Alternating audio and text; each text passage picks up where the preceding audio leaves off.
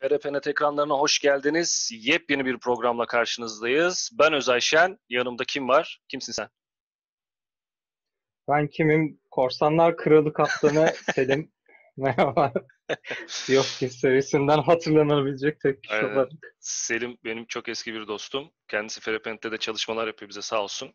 Onunla beraber konuştuk ettik ne yapalım ne edelim diye bir şeyler yapalım. Madem sürekli kendi aramızda konuşuyoruz bunu bir programa çevirelim dedik. Haftalık gündem olarak bu hafta içerisinde ve önümüzdeki haftalarda neler olduğunu program program e, inceleyeceğiz diyelim. Masaya yatıracağız.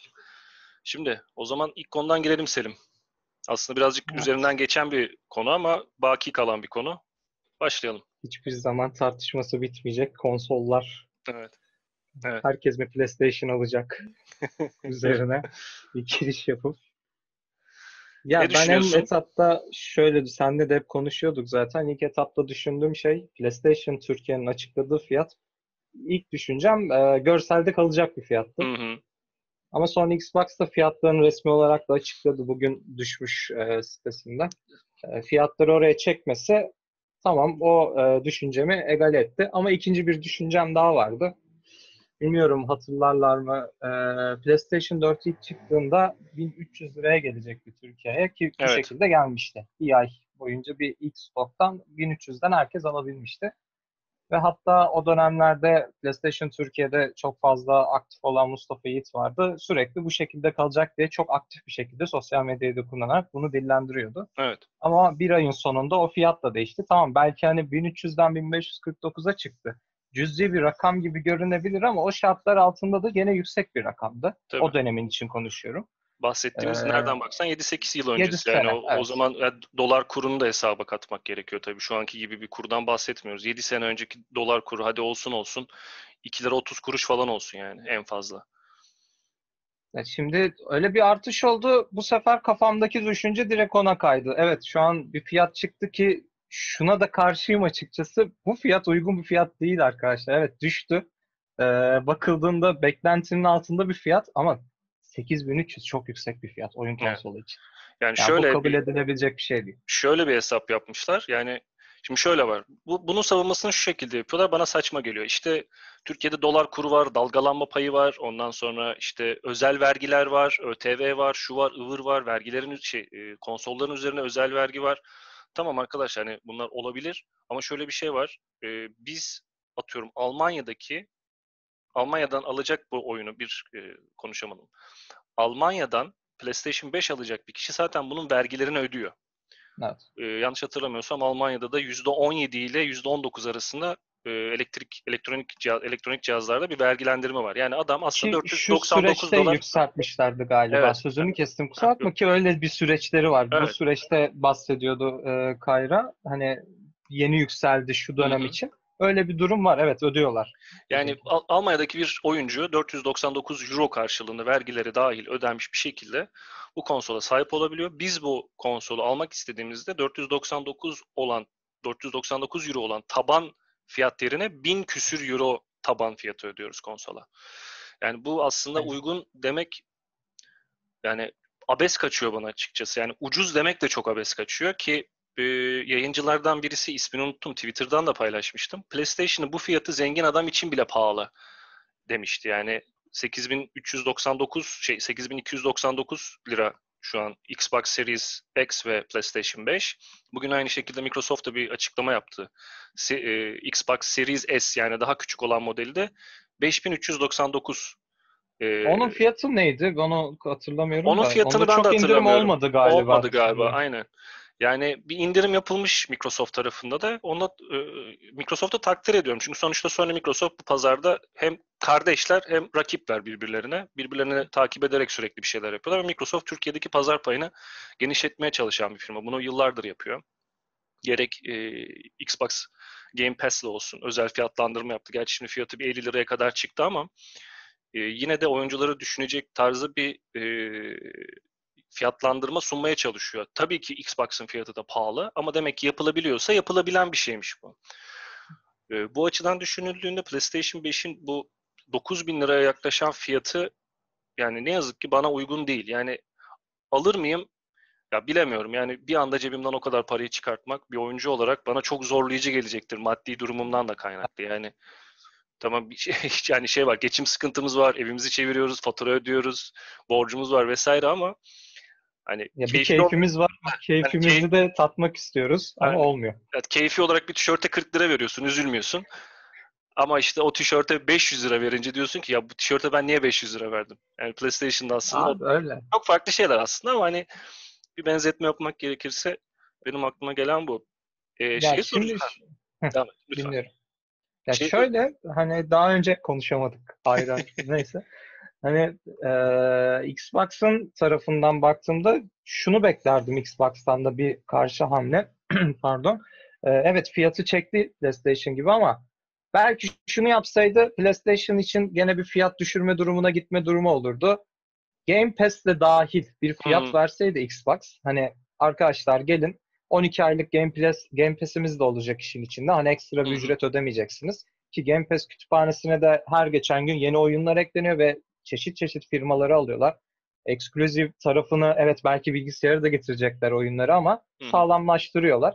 Hani böyle bir hamle yapsaydı Xbox aslında belki bizim için o zaman konuşmalarımız daha farklı yöne gidebilirdi. Hani evet hmm. Xbox da bunu yaptı. Sony ne yapacak? Çünkü Sony'nin elinde böyle bir e, program yok. Yani hmm. şey imkan yok. Game Pass gibi bir imkan yok. Hani onun için fiyatını belki düşürürdü diye bekliyordum ama Xbox tarafı bilmem. Belki ilerleyen dönemlerde çıkartabilir tabii. Bu da olabilecek bir şey. Yani vergi yılbaşından sonra vergi indirimi tekrar e, söz konusu Gündemde. olacak da yani ben o fiyatın 8299 lirayla kalacağını düşünmüyorum. Hani e, bir işte Vatan Bilgisayar'da MediaMarkt'ta e, Overgame üzerinde bu cihazların ön siparişleri açıldı. Açıldığı gibi de bitti zaten bir kısmı. Yani uygun fiyattan alabilen aldı gibi gözüküyor açıkçası şu an. Yani bir sonraki adımda e, kim yazmıştı? Muharrem İnce yazmıştı sanırım. Evet. Büyük ihtimal tabii sosyal medya hesaplarını kullanan bir ekibi var onun. Hani onlar da güzel bir tespit yapmışlar. Hani Bulgaristan'a gidip orada yiyip içip güzel bir konaklama yapıp PlayStation 5'i 4 gün kalabiliyorsun yani gibi 4 gün şey var. Yani Bulgaristan'dan dönüp şey yapabiliyorsun ki burada eminim çoğu izleyicinin de yani rahatça Bulgaristan'a girip çıkabilecek pasaportu vardır yani. Ya onu biz de kendi aramızda konuşuyoruz. Yani hani evet. acaba bir trene binip gidip gelsek mi? Ya da hani yurt gerçekten hesap kitap yaptığımda inanılmaz derecede uyguna geliyor. Yani çünkü iki tane konsol alıp gelirim ben buradaki evet. vereceğim fiyata. Yani bu gerçekten artık e, koyuyor çok fazla insana. Evet. Bir, keyfi bir şey için bu kadar para vermek. Eskiden olsa hani bilgisayar çok daha pahalıya geliyordu. O yüzden konsola kaçıyorduk. Amacı buydu zaten. Daha ucuza veriyorlardı. Ee, Okey diyorduk hani bilgisayar toplamak yerine konsol alıp oyunları oynayalım. Hani sıkıntısız 3, 4, 5 kaç sene gidecek sonrası devam edelim istiyorduk. Ama şu anki durumda konsol almak yerine bilgisayar mı toplasak acaba? Daha mı iyi? Evet. Hani zaten oyunlar bir şekilde bilgisayara geliyor ve bilgisayarda her istediğimizde yapabiliyoruz moduna geçtik. Ya aslında onda da şöyle bir durum var. Hani herkes evet bilgisayar toplarım diyor da aslında onda da fiyatlar yüksek. Çok bir şey değişmiyor. değişmiyor. Yani hiçbir şey alamayacağız bu durumda. Öyle gözüküyor. Çok korkutucu bir yöne doğru gidiyoruz. Bir de en kritik cümle de zaten PlayStation fiyatları açıkladığında o yıldızlı belirtilen nokta hep genelde şey olur sadece. Tavsiye edilen satış fiyatı. Fiyat, evet. Bunun devamı vardı. Hani o en kritik yer o devamıydı zaten. Hani çıktığı zaman her şey değişebilir. Tabii. Belki euro, dolar şu an hala yükselmekte ve çıktığı tarihte bu çift taneyi geçerse bu iki kur o zaman dediğine gelecek. Hani şu an 8300'e çok pahalı dememize rağmen alan aldı. Ucuz almış olacak. Biz Hı-hı. almaya kalktığımızda Türkiye pazarından almak istediğimizde muhtemelen 10 bin üzerine çıkacağız bu hızla giderse kurlar. Ya Türkiye pazarı deyince şimdi aklıma geldi. Şuna katılır mısın bilmiyorum. Eskiden e, eskiden bahsettiğimde hani 2000'lerin başı diyelim ya da 90'ların sonu diyelim. İşte PlayStation 1, PlayStation 2'nin böyle hani ülkeye bir şekilde girdiği dönemlerde şey vardı. Kırdırma vardı, işte korsan vardı, çipli konsol kovalama vardı. Şimdi o dönemde aslında e, korsana karşı bilinç de yoktu e, bizim aramızda. Biz de hani ortaokula, liseye giden öğrencilerdik. CD'ciye gider CD alırdık. Bizim için oyundu. Hani orijinali korsanı yoktu yani. Orijinaldi bizim için belki Orijinaldi. onlar yani. yani. Crack yapıyordun en fazla. Yani bunu kimse tersini söylemesin yani. Hani 2000'lerde kimin orijinal oyun aldığını tartış. Yani orijinal oyun alsan bile orijinal olduğunu belki bilmiyordun. Neyse bu başka hikaye de. Şimdi şöyle düşün abi PlayStation 3 ile beraber bir de Xbox 360 ile beraber aslında Türkiye'de bir yerelleştirme pazarı oluşmaya başladı bu firmalar açısından. Yani sen de şunu fark ettin. Ya evet hani ben, ben e, benim artık merdiven altı dükkanlara gidip kırdırılmış konsol ya da işte içerisinde 500 tane oyunu olan konsol alma ihtiyacım yok. Bana değer veren bir firma var. Bana özel fiyat uygulayan bir firma var. Bana destek veriyor. Bana orijinal oyun veriyor. Ben bir sorun yaşadığımda bir maille, bir telefonla ya da e, garanti e, garanti kapsamını e, garantisini kapsayacak şekilde buna hizmet verebilecek bir teknik servise ulaşabiliyordum. Bu yüzden aslında birinci dükkandan satın almak her zaman daha mantıklı oldu. Şimdi acaba PlayStation 5 ve e, Xbox Series X'in fiyatlarının bu kadar artmasıyla beraber bu merdiven altına bir geri dönüş olur mu? Olursa da bence çok kötü olur diye düşünüyorum. Ya o, tabii şimdi bizim Türk tekniker ekibe bağlı o makineleri kırmak herhalde.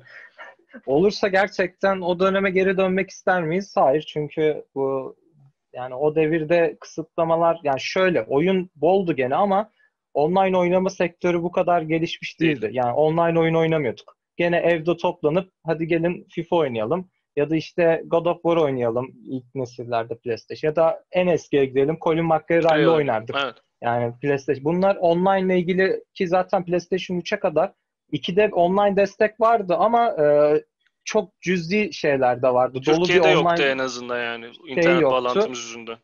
3'te online modu gelmişti ki o da sonradan hani hem Türkçeleşmeye döndüğünde PlayStation Türkiye daha fazla hani bir e, aktif kullanma şeyine ulaşmıştık. E, tabii ki de istemeyiz o dönemlere geri dönmek. Çünkü artık online her şey. Hani offline evet. bile bir oyuna başlasan seni zorunlu olarak online tutuyorlar. Tabii. Yani, yani bulut tabanlı kayıt şu an, Evet.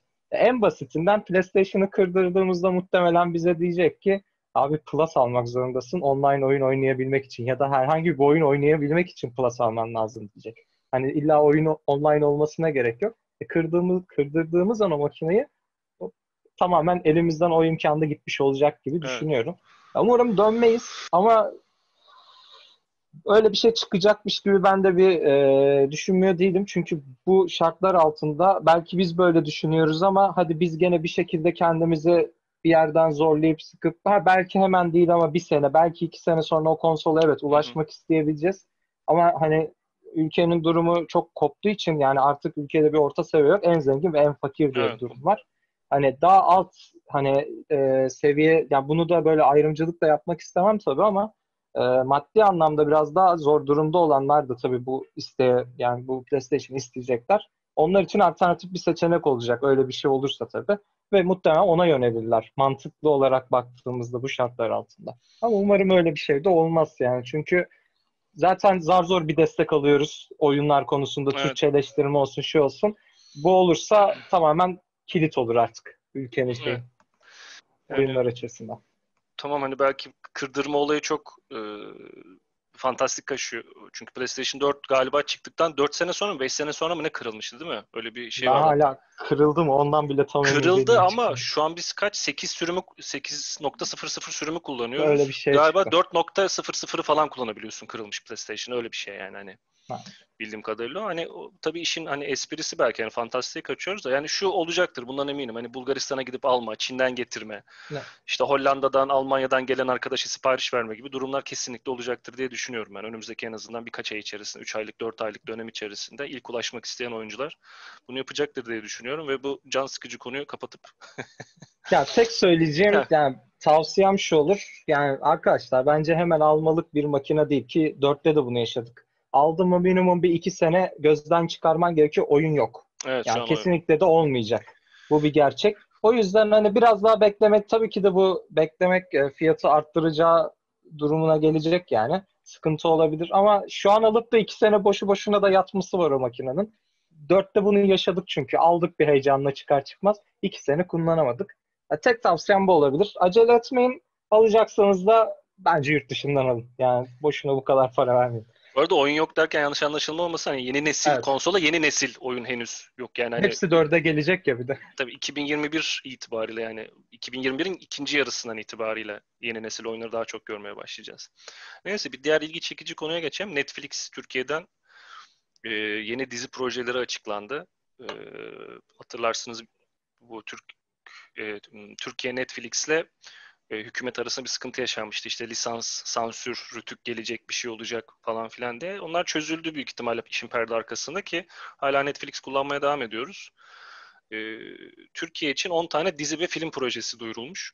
Bunların hepsini tek tek anmaya gerek yok ama aralarında mesela dikkat çekici bazı başlıklar var. Bir yandan ona bakıyorum. Mesela e, Demet Akbağ ve Haluk Bilginer'in olduğu 9 kere Leyla diye bir e, Ezel Akay'ın yönetmenliğinde bir e, film yayınlanacak ki Ezel Akay uzun zamandır çalışma yapmıyordu. Merak ettiğim bir film bu. Keza e, Taylan biraderlerden e, Azizler diye bir film gelecek ki bu aslında vizyona girecekti ki aslında şu anki konumuzun başlığı da bu olacak biraz sonra. E, Netflix satın aldı. Film Netflix üzerinden yayınlanacak. Orijinal yapımlar da var. E, mesela burada benim dikkatimi çeken Cem Yılmaz'ın Erşen Kuneri dizisi. En çok merakla beklenen Evet, muhtemelen yani, içerik o. aynen. Ya bu konu hakkındaki makaleyi Ferpenet'te görebilirsiniz. Netflix Türkiye'den 10 dizi ve film projesi duyuruldu diye. Onun haricinde şimdi seninle aslında şunu konuşmak istiyorum. E, hepsini tek tek bakmak yerine. Şimdi Azizler mesela Taylan Biraderler'in filmi 8 Ocak'ta e, vizyona girecekti ama Netflix bunu satın aldı ve Netflix üzerinden yayınlanacak. Şimdi bunu seninle aslında dün oyun oynarken konuşmuştuk da bundan Evet. güzel konu çıkar diye aslında tekrar konuşacağız kendi aramızda ama dijital yayın platformları sinemanın önüne geçti mi? Ya bu çok uzun bir konu ama şöyle kısaca bir değinmek isterim. Ne düşünüyorsun? Abi şöyle hep o tartışma vardı zaten. Hani Netflix olsun, daha sonradan Disney Plus çıktı, HBO Max var, e, Amazon Prime. Hani hep bir tartışma vardı kafalarda soru işareti hep oluyordu. Netflix başı çekiyordu. Yaptığı filmlerle hani sinema sektörünü bitiriyor mu ediyor mu diye. Ee, biraz da şu pandemi süreci onların tarafına kaymış gibi duruyor. Yani sinema salonları yani bundan sonra kolay kolay da olacağını sanmıyorum. Hı hı. Ki dün de dediğin gibi konuştuğumuzda en azından kendi ülkemiz için konuşalım. Ee, belli başlı yani zaten top bir firma var ele geçirmiş piyasayı. Ee, tabii bunu söylerken yanlış anlaşılmasın da o firma dışındaki alt firmaların hepsi teker teker kapanıyor. Yani en basiti Kadıköy Rex artık yok. Yok. Ya da onun dışında bildiğimiz birkaç tane daha sinema salonu artık yok. Ya da dün senin bahsettiğin X firmanın artık salonları belki bu saatten bugünden itibaren bir daha açılmayacak. Bu tepedeki için de geçerli. Ee, ne yazık ki bu durum böyle gidiyor. Tabii ki de üzücü bir taraf. Yani sinemada film seyretmek çok ayrı bir e, tecrübe, keyif.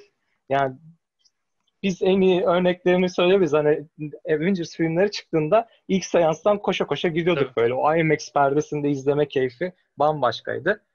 Ee, ama artık e, dünyanın şartları da buraya yöneliyor. Teknoloji bu tarafa daha çok kayıyor. Ve Netflix de inanılmaz derecede bir bütçe ayırıyor. Çok büyük isimlerle filmler yapmaya başladı. Keza diğerleri de bunu yapacak. Disney Plus da e, birçok Marvel, ertelenen Marvel filmini Disney Plus'ta yayınlanması için e, Disney yatırımcıları baskı kuruyormuş. Hani sinemaya çıkmasın orada yayınlansın diye. Evet. E, HBO keza Justice League'i kendi şeyinde yayınlayacak. E, diğer Amazon'da projeler çıkacak edecek. Yani muhtemelen artık sinema diye bir şey eskisi gibi olmayacak. Bu üzücü ama yapacak bir şey yok gibi Ya- duruyor. Tamamen e, kesileceğini düşünmüyorum ama belli noktalarda e, şöyle bir aslında alternatif çıkacak. Atıyorum işte Avengers 5 filmi girecek vizyona 10, 10 yıl sonra diyelim mesela. Buna örnek veriyorum. Bu kısa sürede olacak bir şey değil ama 5-10 yıl içerisinde şunu göreceğiz. Avengers vizyona girecek ama Disney Plus diyecek ki ver abi 6 dolar bana filmi izle. Ha, İster Yani- evde izle, ister sinemada izle. İster sinemada izle. Sinemada gideceksin mesela 18 dolar vereceksin. Tabii yurt dışı şeyinden konuşuyorum da Türkiye'de sinema fiyatlarının e, uçukluğu da can sıkıcı bir konuydu zaten son dönemde. Ya ben e, en son neye gittiğimi hatırlamıyorum ama e, eşim Özlem'le bir filme gittik. 67 lira mı 68 lira mı bir para verdim yani. Hani girerken böyle bir mısır cips bir şey aldık en fazla. Ya dedim ki "Bir- bu, bu ne dedim ya 100 lira verdim ben dedim. Bu şey vardı. bir de mısırla cips daha pahalıya geliyor bir Evet, noktadan evet. sonra. Şey hatırlar mısın? durum. Black Books'u hatırlar mısın İngiliz dizisi? Orada Evet, e, kitapçı şeye gider, sinemaya gider. İşte o şeyden tezgahtan işte mısır alır, kola alır, bir şey alır. Döner arkasını. Sonra geri döner der ki işte ben bir sürü şey aldım ama param kalmadı. Niye param kalmadı falan diye sorar yani tezgahtar orada. E, Aslında öyle bir duruma geldi. Ben şey hatırlıyorum yani 5 lirayla cebimizde 5 lira varken çıkıp da tamam bu çok nostalji övmek olacak ama 5 lirayla Kadıköy'e çıkıp sinemasına da girerdik. İşte PlayStation Store'una da PlayStation Store. PlayStation kafesine de giderdik. Yani sinema 2,5-3 lira falan veriyordun yani. Bundan belki Öyle. e, 15 sene öncesinden bahsediyorum tabii ama tabii ki değişen teknolojiyi de Biraz- takip etmek gerekiyor. lükse kaçmaya başlamıştı dediğin gibi. Yani ben de filme gidiyordum ki kampanya kovalıyorduk artık Evet. gitmek için. Sabah hani 8'deki seanslar da pardon sabah ilk seanslar 8 liraya geliyordu. Bir kampanya vardı. Ben full onu kovalayan bir insandım. Bir ekiple full yani senle de gitmişliğimiz oldu. Diğer arkadaşlarla da sürekli onu kovalıyorduk. Öbür türlü gerçekten olmuyor. Çünkü gittiğimde 50 lira bilet, bir bilete 50 lira veriyorsun. Bu Evet. tabii en üst bilet fiyatı. Tabii. Biraz daha altı var ama altı dediğinde 30 liraya iniyor. Çok büyük Tabii. bir fark yok aslında. Ee, yani bu süreçte işte dijital platformların bu kadar atağa geçmesi evet tamamen bitirmeyecek belki sinemayı ama e, çok büyük darbe vurdu. Evet. Ve yani vurmaya da devam edecek Ya muhtemelen. şöyle bir şey var. Çok önemli isimlerle çalışılıyor. Yani baktığın zaman e, geçen 2018 miydi? 2019 Irishman mesela Martin Scorsese'nin filmi. Yani normalde Martin Scorsese Netflix'e iş çıkaracak bir adam değildi. Eski toprak sinemacılardan birisi ama bir şekilde adam bunu yaptı. E, e, geçen ayda geçen ay içerisinde yayınlandı sanırım. Devil oldu şey Devil the Time diye e, şeytan düş Evet, yakamdan. net. Kadroya bakıyorsun. Tom Holland var, Bill Skarsgård var. Yani e, çok top yıldızlar bunlar. E, baktığın zaman şey de oluyor artık. Böyle film yıldızları dediğimiz, yıldızlar geçti dediğimiz o kadroları sinema yerine Netflix'teki bir dizide bile görebiliyorsun. Çok basit Evet, bir evet. dizide bile görebiliyorsun. Şöyle durum oluyordu. Hani Netflix yıldızları hani çok üst düzey oyuncu değil, orta seviye diyelim. Öyle bir yıldızlar topluluğuydu. Onlarla filmler çekiyordu. Ama artık Hollywood yıldızlarıyla alıp Evet. onlarla film çekiyor. Yoluna devam ediyor ve evet tartışılır. Ne kadar başarılı filmler çıkartabiliyorlar. e, ne kadar e, başarısız filmler çıkartabiliyorlar. Yani o O oran çok tartışılır. Tabii, farklı da. E, ama Hollywood'u artık evini direkt getirdiler. Yani otur evinde izle. Ne gerek var sinemaya moduna Tabii. geldiler. Bu süreçte de yani bu pandemi süreci en çok da onlara yaradı diye düşünüyorum. Çünkü ya Kesinlikle. biz bir de karantina döneminde ne yapıyorduk abi? Oyun oynadık ve direkt aklımıza gelen ikinci şey Netflix oluyordu. Hı hı. Bu tarafta gidip geliyorduk. E şimdi Türkiye pazarına e, Amazon girdi. Prime. E, yarın öbür gün Disney'i Disney bekliyoruz Plus'ta gelecek. gelmesi için. Bunlar geldi mi zaten tamamen artık zaten pahalı olan bir sinema kültürümüz vardı. Hepten evimizde oturup izlemeye daha çok kayacakmışız gibi bir üzücü durum Bana var. da öyle. Bu konuda mesela son notlardan bir tanesini de söyleyeyim. Ee, Justice League filmi mesela vizyonda çok büyük başarısızlığa uğramıştı. Nedenlerinden bir tanesi aslında e, Zack Snyder'ın yaşadığı e, ailevi bir sorundu. Çekimleri yarıda bırakmıştı. Başka bir yönetmenle devam etmişlerdi. Snyder'a şimdi 70 milyon dolarlık bir bütçe verdiler. Ek sahne, ek görseller, e, yeni görsel efektler, yeni diyaloglarla beraber e, Justice League'i elden geçirecek ve sinemaya çıkacaktı. Fakat sonra HBO dedi ki, yani Warner Bros. aslında bunların hepsinin üstündeki firma. Sinemaya girmesin, HBO Max'in aracılığıyla 4 bölümlük birer saatlik dizi halinde yayınlansın dedi. Yani Justice League aslında bir iki sene öncesinde vizyona giren, giren bir filmken e, yönetmenin kurgusuyla 4 saatlik özel edisyonuyla HBO Max'ten yayınlanacak. Bu aslında e, güzel örneklerden bir tanesi bence dijital e, yayın isteğe bağlı dijital yayın platformlarının ne kadar büyüdüğünün göstergesi. Yani 70 milyon dolara yani birkaç tane film çekiliyor aslında baktığınızda. Evet. Birkaç tane Bir orta bütçeli film çekiliyor. Film de hani öyle küçümselecek bir değil. Çok fazla büyük bir hayran kitlesine e, sahip bir filmi getiriyorlar. Yani bu böyle devam edecek. Yarın öbür gün Disney Plus da bunu yapmaya yapabilir yani. Avengers'ı abi ben baktı tuttu HBO'da Justice League yürüdü. Hemen kaparlar bunu. Tamam biz Tabii. de bunu uyguluyoruz derler. Sinemaya vermeyeceğiz. Burada devam edelim yolumuza. Ya biz böyle konuşuyoruz da kesin onların böyle 5-10 yıllık bir ileriye yönelik planları Vardır, vardır. vardır. 5 yıl sonra bunu yapacağız, 10 yıl sonra bunu yapacağız. Ya ben eminim abi. Belki hani biz yaşlanacağız, emeklilik yaşımıza geleceğiz. Adam Star Wars'la Avengers'ı birleştirecek. Biz diyeceğiz ki ne yaptınız siz? Sizi yaramazlar. Böyle bir şey olur mu falan diyeceğiz yani. Kendi kendimize şikayet edeceğiz Edeceğiz. oturup böyle. Evreni mahvettiniz diyeceğiz ama iş işten geçiş olacak. Yani. Neyse bir e, farklı bir konuya geçeceğim. Scorn diye bir oyunun oyun içi videosu yayınlandı. Sana da özellikle izle diye söyledim hatta. Evet. e, EB, EB, EBB, EB Software diye Sırbistan merkezli aslında ufak bir firma tarafından geliştirilen yeni neslin ilk oyunlarından bir tanesi Scorn. E, görseller Xbox tarafı için eksklusif olacak. Ek- Windows e, bir bilgisayara çıkacak hem de Xbox'a çıkacak. Xbox Series S. Aynen. Ha, şey, E, Series S doğru değil mi? Karışıyor Series, ya. Series X ve Series S. Aynen. E, bu arada şey de çok komik S yani. yenisi Bir falan. parantez açacağım da e, Amazon'da Xbox Series X'in ilk satışta çıktığı zaman ön siparişi millet yanlışlıkla gidip Xbox One X satın almış ya %740 artmış. Evet evet. o da Ya güzel. orada da Xbox'ın da yani gerçekten Başka isim mi bulamıyorsun abi? Xbox 2'da yani hani zor bir şey değil ama yapacak bir şey yok. Ee, şimdi Scorn aslında yani... görsel olarak e, acayip bir oyuna benziyor. Evet. Biopunk ve tech punk diye adlandırabileceğim bir tür. E, bu e, Giger'in çalışmalarına benziyor. Daha önce Alien için yaptığı ya da Alien ve Prometheus filmlerinde gördüğünüz böyle grotesk böyle sanki e, ortaçağ e, gravürlerinden çıkmış gibi e, vahşi diyeceğim değil ama baktığı zaman insanı rahatsız edebilecek bir görselliğe sahip Scorn. E, normalde korku oyunu oynayan ya da gerilim oyunu oynayan birisi değilim ama çok ilgimi çekti. Yani sen e, o oyun içi videoyu izledikten sonra Scorn için ne düşünüyorsun? Yeni nesilde iddialı bir oyun olur mu sence? Grafik açısından gerçekten üst düzey duruyordu. Fark ettiriyordu. Yani hmm. bağıra bağıra geldiğinin belli yeni nesil. Görüntü anlamında. Ee, şey havası var evet Alien tarafına baktığımızda Prometheus tarafına baktığımızda e, aksiyon aslında yok gibi gözüküyor 13 evet. dakikalık videoda ama o ortam geriyor seni. Her an her şey çıkabilir e, ortamı e, bayağı bir gerginlik yaratıyor. Grafik açısından dediğim gibi hiçbir şey söylemeyeceğim. Oynanış açısından da gayet güzel duruyor. Sade bir oynanış stili vardı gördüğüm kadarıyla. Hı-hı. Tabii biz sadece bir 13 dakikalık belki de en sakin bölümünü gördük. Gördük. Evet. Ee, belki daha aksiyon dolu bölümleri de olabilir. Merakla beklenebilecek oyunlardan bir tanesi yeni nesil için ki Xbox tarafı için de bayağı arta, hani e, en azından alternatif seçenek olacaktır. Hı hı.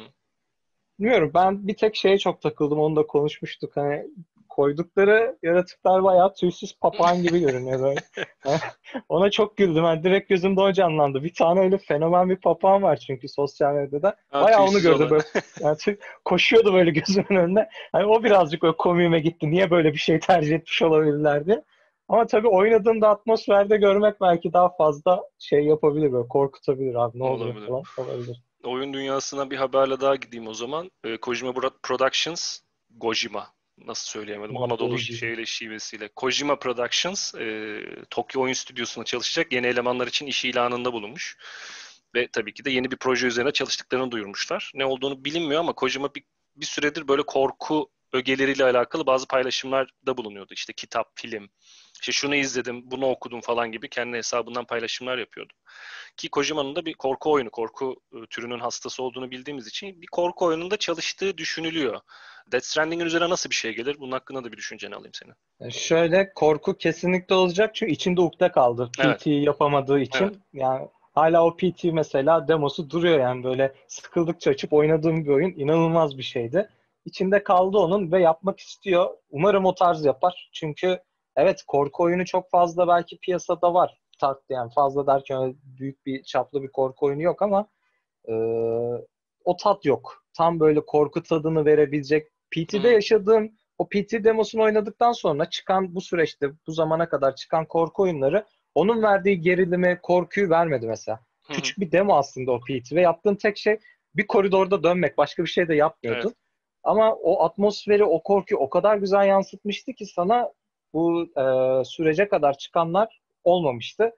Kojima'nın en büyük, yani Kojima'dan en büyük beklentim açıkçası o tarzı çok başka bir boyuta getirmek. Belki evet PT, yani Silent Hill'in devamıydı zaten o. Onun üzerine bir şey yapamayacak ama çok başka bir seri başlatıp hani e, kendini bambaşka bir boyuta geçirip zaten Destiny'de çok farklı kafalar yaşattı bize. Farklı deneyimler sundu. Çok Korku tartışılan bir oyun oldu ama. Evet, çok tartışan bir konu oldu ama e, keyif aldık yani bir şekilde evet. herkes oynadı bunu. Tartıştık ettik ama herkes oynadı yani. Bu abi nasıl bir şeymiş ya deyip. Korkuda da o tarz farklı bir yenilikçilik getirerek başka bir boyuta taşıyacağını düşünüyorum. Çünkü adamda var o. Yani o manyaklık var. Ruh hastalığı var diyeyim hatta. Evet, oyun dünyasının dehası boşuna denmiyor. Farklı bakıyor yani dünyaya. Bizim gördüğümüz Bu şekilde lazım görmüyor. Abi çünkü, evet. çünkü hep aynı tür gidiyor bazı şeyler. Korku oyunu tamam ne yapalım anlık bir şey çıkartalım. Bu olmasın. Aksiyon olur ne yapalım şu olsun. Tamam bu şekilde gitmesin. Kargoculuk diye laf edildi. Ama var mı örneği? Yok. Yok. Hani evet karkoculuk yapmış gibi gözüktü ama keyif aldık mı aldık. Ve devamını da ettiğinde de oyunda zaten kargoculukla en alakalı bir şey olmadığını da anlıyorsun. Hı hı. Yapması lazım. Böyle insanların çoğalması lazım. Umarım böyle korku türünde çok başka bir yere getirebilecek, hani tapa çıkartabilecek bir zirve oyun yapar da bu açığı kapatır. En azından biz korku oyunu Evet. sevenler için. Benim için değil. O zaman son iki e, haberle devam edelim ve kapatalım. Bu aslında fantastik edebiyat okurlarını ilgilendirecek e, iki haber. Bir tanesi e, aslında sen kitaplar sende var o kitaplar ama e, okudum mu okumadım mı hatırlamıyorum. E, Unutulmuş Değerlerle Ejderha Mızrağı serileri. Bir ara konuşmuştuk Hepsini seninle de hat- evet. Heh, hatırlamıyorum da. E, Salvatore e, Harper Collins'le e, şey pardon Harper Voyager'la yani yayın eviyle anlaşıp yeni üç tane Driss kitabı yazacakmış. İlkinin isminin e, Starlight Enclave olduğu söylendi ve bu e, Generations üçlemesi olarak bilinen serinin devamına gelecek. Aslında Driss serisine yeni kitap beklenmiyordu ama sürpriz oldu bu. Onunla alakalı detayları da gene sitemizde bulabilirsiniz. Bir başka haber de Ejderha Mızrağı tarafından geldi. E, Dungeons and Dragons masaüstü oyunları için aslında son dönemde eski e, diyarları tekrar geri getirme çalışmaları bulunuyor. Bunlardan bir tanesi Ravenloft olmuştu. Daha sonrasında Plan Escape'i gördük. E, işte Spelljammer şeyleri var, ahenkleri var, böyle ritimleri var. Onları görüyoruz. Onlar gelecek. Bir de Ejderha Mızrağı'nın geleceğinden söz ediyorlardı. Ama şöyle bir şey çıktı ortaya. Ejderha Mızrağı'nın yaratıcıları Tracy Hickman ve Margaret Weiss, e, Wizard of the Coast'ta yani Dungeons and Dragons markasının sahibi firmaya dava açmışlar. Çünkü üç tane kitap yazmışlar aslında. Anlaşmışlar kağıt üzerinde ama Wizards daha sonra şey yapmış. e, iptal etmiş. Kafası göre iş. Ha, ip- iptal etmiş demiş ki yani kitapları yayınlamayacağız. E, tabii haliyle ikili de e, biz kitap yazdık bize işte maliyeti böyleydi bilmem neydi falan gibisinden çok büyük bir dava açmışlar. E, yani Wizards ve Ejderha Mızrağı arasındaki dava süreçleri bitmek bilmiyor yıllardır. E, Margaret'la da Tracy de yıllardır seriyi devam ettirmek isteseler de roman tarafında bir türlü devam ettiremiyorlar. Yani umarım çözüme ulaşır. E, Dragonlance yani Ejderha Mızrağı sevdiğim bir diğer. Abi şöyle bir şey var. Ee, hep güzel şeylerin önüne hep bir engel çıkıyor. Dediğim gibi devam etse aslında çok güzel olabilecek bir seri varken niye böyle bir şey yapıyorsunuz abi? Çok güzel gidiyor her şey yolunda. Anlaşamamazlık. Bu aralar bir de bu dava işleri çok fazla oldu. Böyle oyunlar genelinde olsun, işte kitap tarafı olsun ya da filmler konusunda olsun. Dünyadaki şu hani memnuniyetsizlik olduğu sürece hep bunlar devam edecek. Bu kesin de. Bilmiyorum. Keşke bunlar yaşanmasa ve mutlu mesut Değil mi? hep hayalini kurduğumuz şekilde devam etse her şey. Ne güzel olacak da. Bir de buraya ufak bir not almışım. Çok aslında onu da hani haber değeri var ama Tom Holland'ı ilk defa Nathan Drake olarak gördük ve setten de bir iki tane fotoğraf paylaştılar. Ee, ya tek bir cümleyle söylemem gerekirse ben beğendim ama çok toy gözüküyor. Yakışmış. Ya Toy evet. gözüküyor. Ya da zaten Fazla genç bir genç oyuncu olduğu için. Ya benim tahminim Yani- böyle 3 filmlik, 6 filmlik böyle Indiana Jones benzeri bir seriye kalkışacaklar ki genç bir oyuncu tercih ettiler. Tom Holland'ın yüzünü eskitecekler yani Nathan Drake'le beraber. Benim hoşuma gitti Zaten- bilmiyorum. Zaten dört tane oyun var. Oradan dolu dolu iş çıkar. Yani her böyle, e, ülkeye bir tane böyle film çekseler zaten bayağı çıkar bir şey onlar için. Ben de çok yakıştırdım. Hı hı. E, Gençliğine daha çok e, değinecekler ilk etapta. Belli dediğin gibi uzun süreli bir proje olarak almışlar. E, ve o yolda devam edecekler muhtemelen beraber. Şey olarak da güzeldi. Hani kostüm tasarımı ve çevre dizaynı da oyuna çok güzel yansıtacak. Oyundan çok güzel yansıtılacak Hı hı. gibi durumda da. O beni çok mutlu etti. Çünkü bazen şöyle bir e, kötü tarafı var. Oyunların filmi yapıldığında olmuyor. Ben- Ya bunun örnekleri çok var. Bu sefer umarım olur. Yani bundan biraz daha yükseğim. Çünkü işin içinde her ne kadar Sony'ye sövsek de etsek de PlayStation tarafı içinde adamlar bu işi bir şekilde yapabiliyor. Hem Evet. oyun olsun hem de filme e, uyarlama konusunda başarılı işler çıkartabiliyor. Evet. Yolu açık olsun. Yani uzun bir seri bizi bekliyor. Heyecanla. Yeni neslin Indiana Jones olacak işte. Evet, Bizim için ihtimal. eski nesil Harrison Ford bizden- neyse. Onlar için de Tom Holland o olacak artık. Merakla bekliyoruz. Bakalım neler olacak. O zaman haftalık gündem programımızı burada bitirelim. Ee, bizi izlediğiniz için teşekkür ediyoruz. Selim söylemek istediğin bir şey var Teşekkürler mı? arkadaşlar. Teşekkür ederiz için. Ee, varsa değerlendirmemizi istediğiniz, kaçırdığımız bir şeyler onları da altta yoruma yazarsanız seviniriz. Evet. E, FR Penet Video'dan şimdilik bizden bu kadar. Ee, Selim'le beraber sizi konuk ettik muhabbetimize. Önümüzdeki haftalarda haftalık e, bölümler halinde gündem konularına devam edeceğiz. Belki araya ufak tefek konuklar ya da minik e, ara bölümlerde ortaya çıkartabiliriz. Bakalım önümüzdeki haftalar neler çıkaracak. Siz beğendiniz mi? Yorumlarınızı mutlaka belirtin aşağıda. E, Selim'in dediği gibi ve tabii ki yeni videolardan haberdar olmak için abone olup bildirimleri de açmayı lütfen unutmayın. E, yorumlarınız ve takibiniz bizim için çok değerli. O yüzden Bir sonraki videoda görüşmek dileğiyle. Hoşçakalın. Teşekkürler. Görüşürüz.